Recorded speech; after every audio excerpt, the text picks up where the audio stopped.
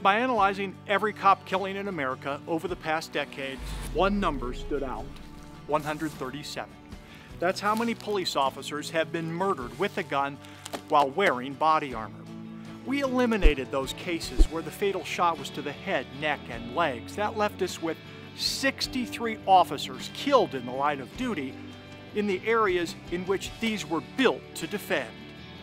Nate Carrigan died from one shot through a narrow opening in the armhole of his vest. His family tells Fox 31 his ballistics vest was 10 years old, out of warranty, and so ill fitting, they believe if he had been given the right problem solvers counted another 24 law enforcement officers beyond Zach Parrish, killed when bullets penetrated their vests, shot right through the armor, into the chest, stomach, and back.